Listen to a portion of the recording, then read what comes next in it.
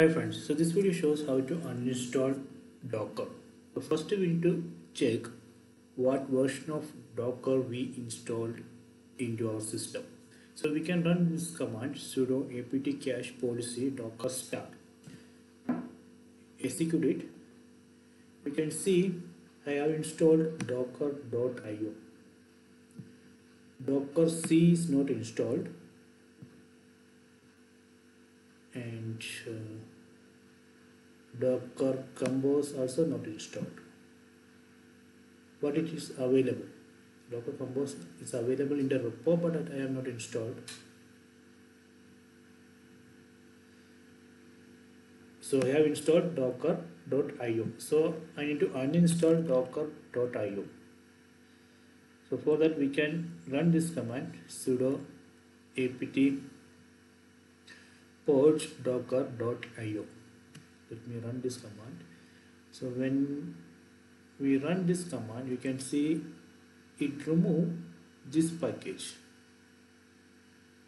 The following package just will be removed. docker.io but it will not remove its dependency packages. So here you can see the dependencies dependency packages of docker so you can read the message following packages were automatically installed and are no longer required.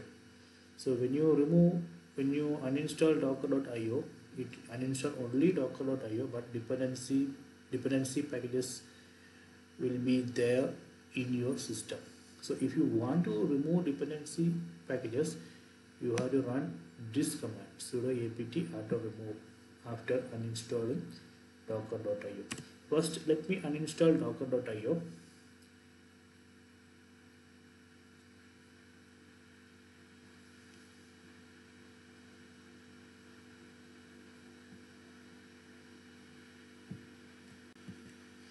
okay done.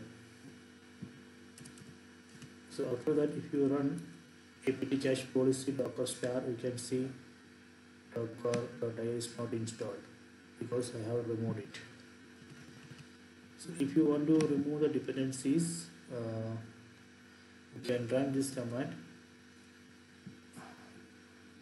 Apt uh, auto remove.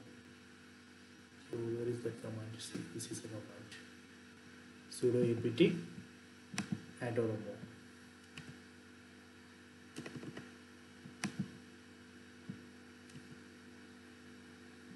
You can see following packages will be removed